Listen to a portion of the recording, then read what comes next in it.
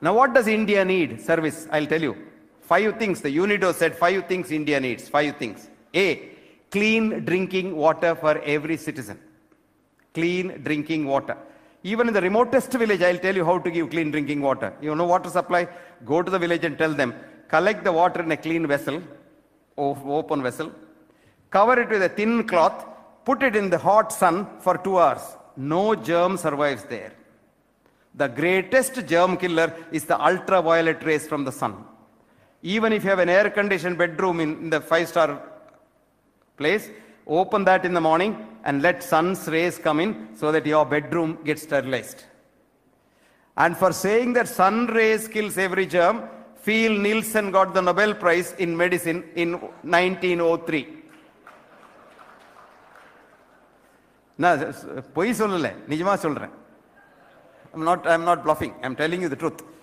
Now, clean drinking water. Two, three square meals a day uncontaminated with human and or animal excreta.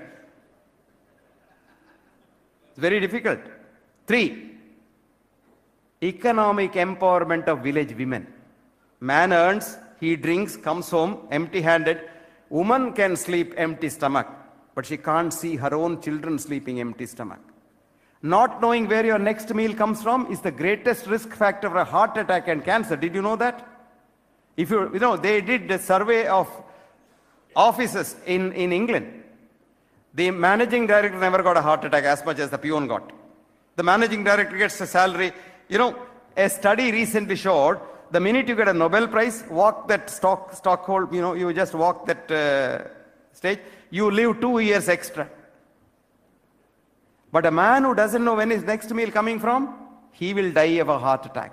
So please empower the women economically.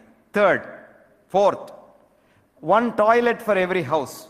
Lot of things get managed. One toilet for every house.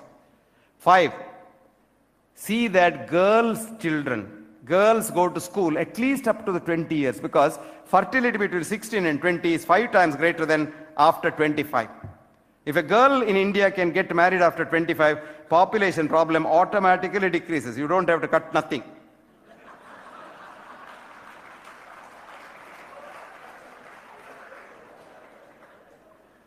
Another thing that you can do is to have a roof on top of those poor people for which right now they have only the starlit sky. This is India's need of health care.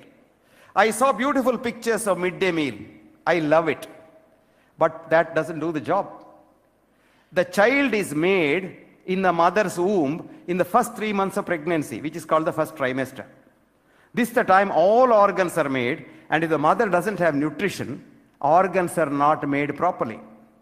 So the child will, if ever it survives and comes out, 50% of them die in the uterus. That's called stillbirth. If they come out at all, they're very small children and they have a very small heart, very thin arteries, very small pancreas, very small liver. That's all all right because they live at least up to 30 years and then become diabetics. You know, this poor fellow, if he survives 30 years, he goes to Dubai, cleans the road, comes back with some money. There he eats a lot of, you know, meat and things like that, which is very cheap. By the time he comes here and goes for a checkup in, in Jaslok Hospital, he's a diabetic. That doesn't matter. But what worries me is there is a part of the brain called the hippocampus major, which is necessary for memory, creativity, learning, studying, everything. And this is so small in these children who don't have, whose mothers didn't have nutrition, that these children, even if you give them 150% reservation, cannot pass SSLC. Because they have no creativity at all. I want you to give midday meal for every pregnant woman in Bombay, poor woman in the slums, right from the day she loses her first menstrual period. Please do that.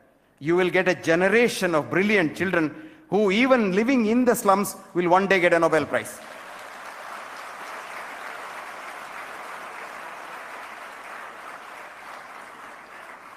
If you want more details, I have written a detailed article in the Bhavan's Journal about this, and two chief ministers picked up the article and called me. One, of course, in one area, I am the chairman of their health department in Bihar, Gujarat. They have implemented this. Every pregnant woman now gets a midday meal, which is more important than giving a midday meal to a child.